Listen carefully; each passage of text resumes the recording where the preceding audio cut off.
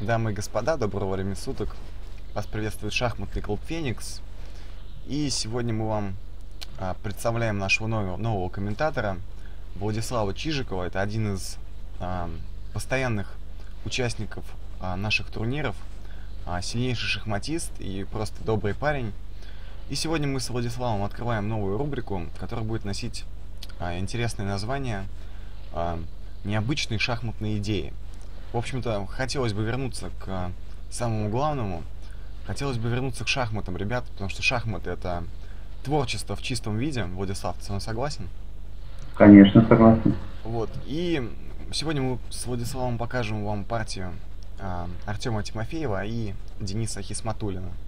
Ну, при, даю приветственное слово Владиславу. Это его, это его дебют на поприще да. комментатора. Да, всех приветствую, и сегодня мы разберем эту партию. Да, ребята, вот э, я когда, когда мне эту партию показали, я, если честно, был немного в шоке, потому что до 40 хода, собственно, ничего интересного не происходило. Ну а что случилось дальше, мы пока оставим немного в тайне, и давайте, под, ну, вкратце промотаем дебют, и, собственно, посмотрим, как же развивались события перед этим перед этим творением шахматным. Итак, можно приступать, я думаю? Да, начнем. Е4, ну, C5. Да, да, известные шахматисты, наверное, нужно про них пару слов все-таки сказать.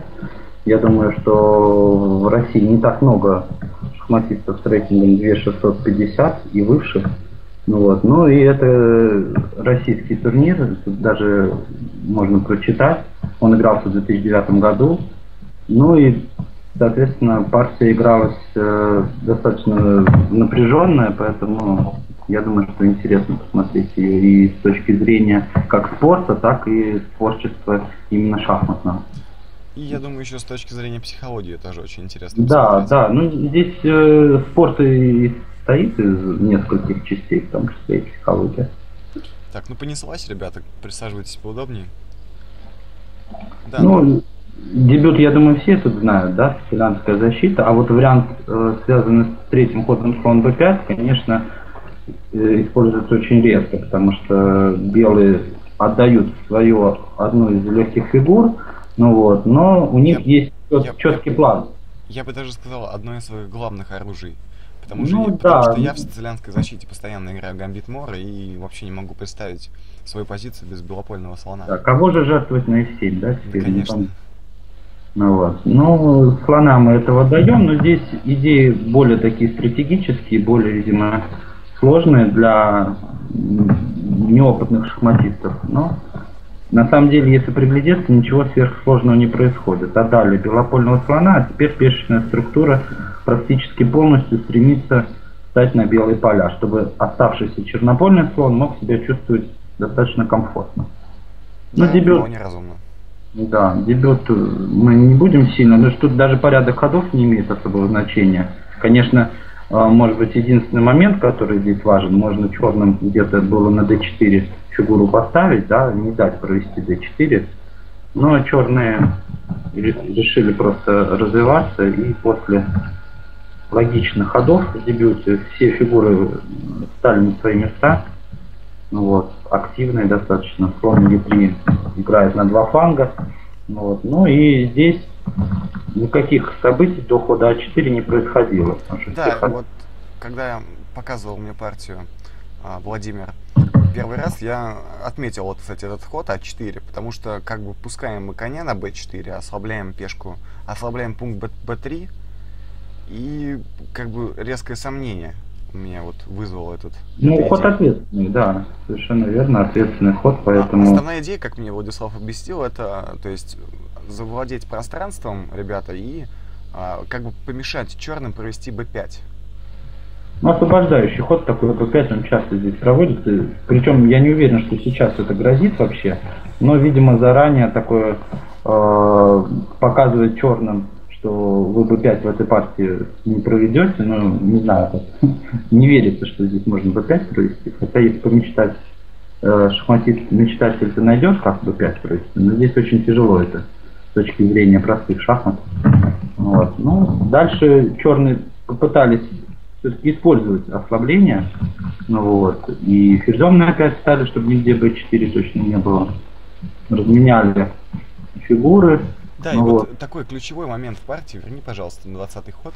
Вроде бы вот я вот увидел, ребят, 20-м ходом поменялись ферзи, и такое у меня, такое у меня сомнение, а, у меня что очень... вообще, да, да, что вообще показывает? Да, что, что, что, вот, что вот сейчас вот в этой позиции можно показать? Поменялись ферзи, ну что может быть в этом необычного? Наверное, вот как Владислав сказал, 90% наверное, вот из этой позиции можно со смело приравнять к ничьи, особенно людям с, таким, с такими большими рейтингами. Но, собственно, случилось то, что случилось, а вы оставайтесь с нами и в ближайшие 2-3 минуты, я думаю, вы оцените эту необычную шахматную идею. Да, ну вот черные начинают цепляться к слабости белым, к пункту b3. Да и даже зафиксировали ее, можно сказать, только использовать это тяжело. Ну, король на помощь бежит. Пешку надо защитить, освободить ладью. Вот. Ну, прыжки конем здесь э, не нужно особо. Можно и вообще и через d1 прыгать. Идея просто коня поставить на более удобную позицию, где у него больше будет возможностей. Да, ну топчется на месте и белые. Тут ноты, видимо. Вообще, если попробовать предугадать, можно предположить, я не уверен, что это так происходило. Тимофеев своего соперника очень хорошо знает, они не раз встречались за доской. Ну вот, а Хисматуллин очень часто попадает в пять нотов. Можно предположить, что Тимофеев специально выбрал и даже этот дебют, такой длительный, да, на долгую борьбу, ну вот, чтобы где-то ближе к контрольному ходу цирковым преподнести И ему это удалось. Да, ну вот э, прошу заметить то, что конь на e3 красавчик, и у него очень много полей. А, и сильнейшая фигура в этой, в этой партии, это, видимо, конь на e3. Пока, Вообще, на данный момент. говоря, некоторые ходы так э, не совсем понятны даже. Ладья f1, ну, конечно, f4 можно где-то попробовать провести, но e4 слабая пешка, и ее постоянно нужно будет защищать. Я не думаю, что здесь Исматуллин думал, что вообще f4 где-то будет сыграно. Это, видимо, так. Просто фигура пошла, загадки. И обратно ушла, да. То ну а что, при, при, пристали к пешке, а что делать? Ну, вообще, на первый взгляд, кажется, что черные играют на победу больше. Ну, сомнительная позиция, я бы, наверное, ничего предположил. Ну вот хотя появилась, появился пункт F4 у черного коня. Тоже может было где-нибудь там подцепляться. Ну, может быть, и туда надо прыгать. Непонятно. Да, ну давай уже ближе да, ближе к развязке. Ну, тут, видимо, уже черные были согласны на ничего, раз туда-сюда конем попрыгали. Ладья опять каким-то чудом на F1 пришла. Ну да. вот.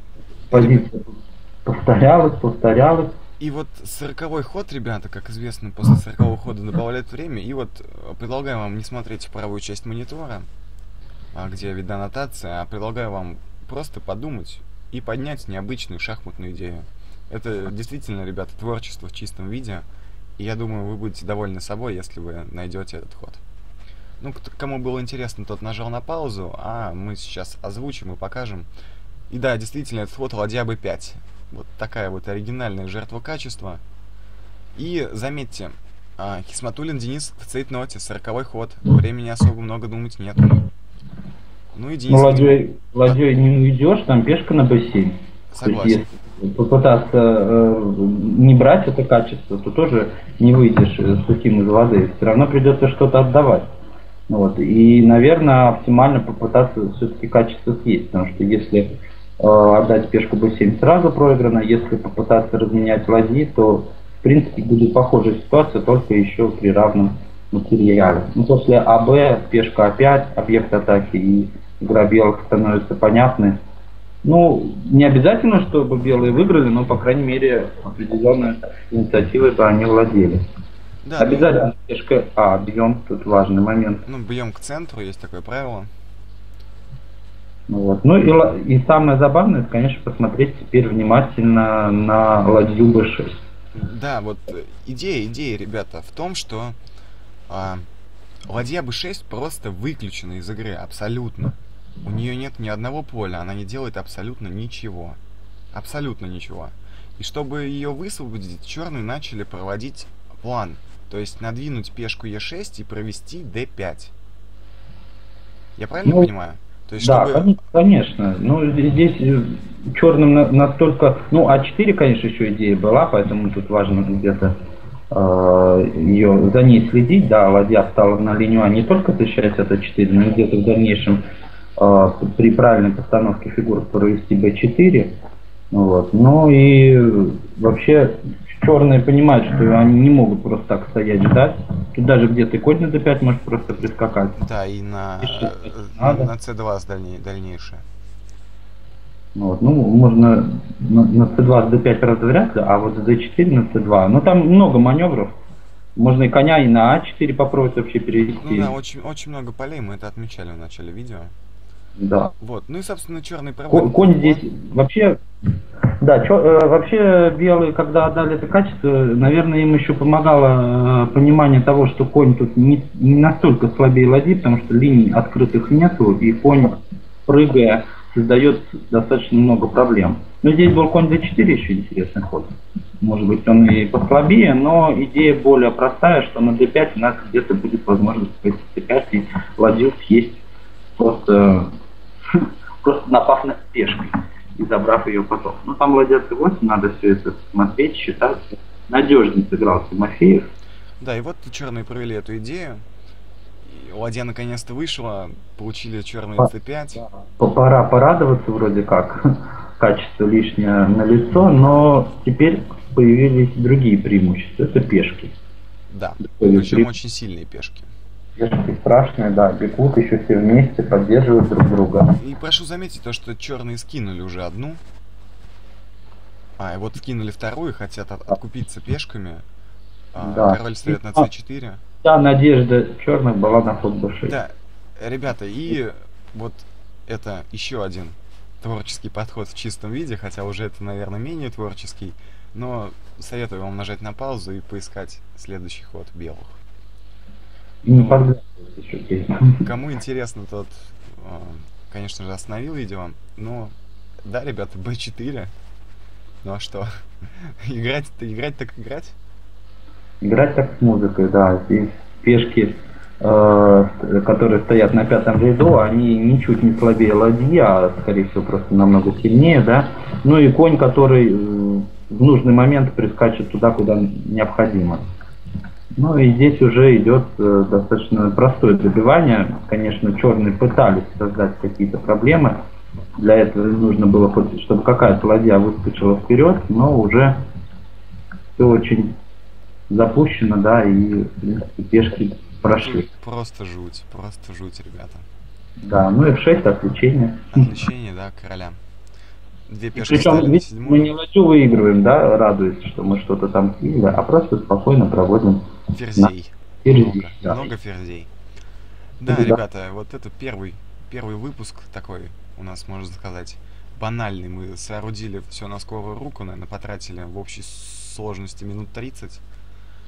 А, пишите комментарии, можете присылать свои партии, мы с удовольствием с Владиславом их разберем, покажем мне оригинальные шахматные идеи. Ну а на этом всем спасибо за внимание.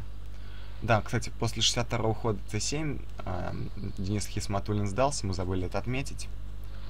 Ну, я думаю, многие догадались. Да, по какой причине. Да, всем спасибо за внимание, до новых встреч. Всем пока.